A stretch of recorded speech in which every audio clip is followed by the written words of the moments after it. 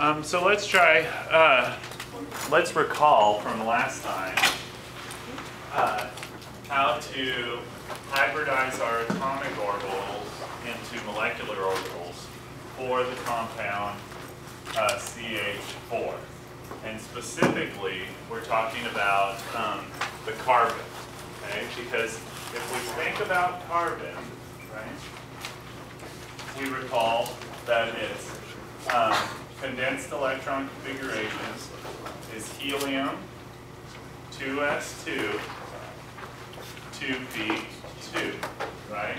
So if we think about building a molecular orbital di or uh, orbital diagram, atomic orbital diagram, we'll have the 2s and the 2p orbitals here. Right, so everybody's okay with that, right? Everybody's okay with that? And when we fill it in, we're going to fill it in one, two, and then one, two, like that. But recall when we were talking about how the p orbitals lie,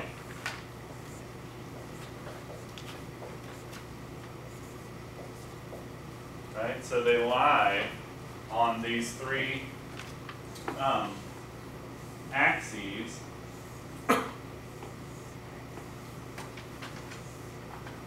that. That's all three of them together. And if you notice, right, these axes, of course, are what's the angle between those orbitals on this axis? 90 degrees, right? So we were going to measure the angle between the z and the y-axis there, it would be 90 degrees. So we know for a fact that the bond angles in methane are what? Do you guys recall? 109.5, right? Okay, okay, so if they were bonding with atomic orbitals, they would be 90 degrees, not 109.5. Also, we know that you, you have to have two electrons in an orbital to make a bond, okay? So, in order for carbon to make a bond without rehybridizing, we're getting to the rehybridization part, right? We would expect it to only be able to make two bonds and they would be 90 degrees from each other, or 180, or whatever. And that's not going to happen. Because, of course, we know that. So what does happen, you guys recall? So you can say rehybridize, or hybridize, or mix, or whatever you like. Okay, so what do we mix? We're going to, we want to make four bonds, right? And we've got four electrons. So we're going to have to mix how many orbitals? Four, right? So we mix all four of these. So when we mix one S and three Ps, how many, or what type of orbitals do we get out? SP3. You guys can talk louder if you want to. And how many of them do we get? Four. Why?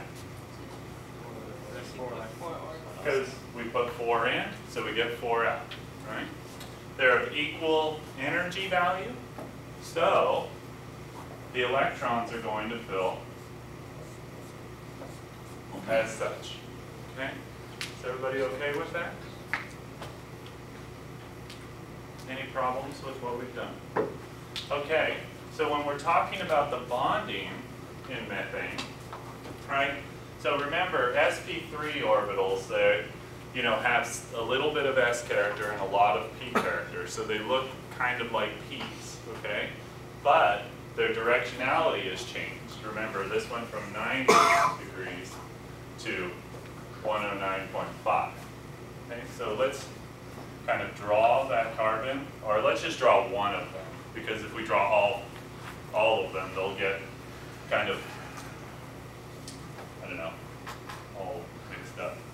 But anyways, it'll be hard to tell. Okay, so this is one of the sp3 orbitals in carbon, and it's got its one electron. Okay, so this will happen four times. So we'll say this is an sp3 what's gonna happen is the hydrogen atom, right, so this is the hydrogen atom with its one s orbital. It's gonna have its one s orbital and kind of stick onto that sp three, but that's gonna happen three times. It's gonna fill up like that. Okay, is there any problem with that? Questions, concerns? Okay, good job, guys. We'll do a few more of those. I guess, um, we'll do a review session on Friday and we'll do the rest of ones that we did before.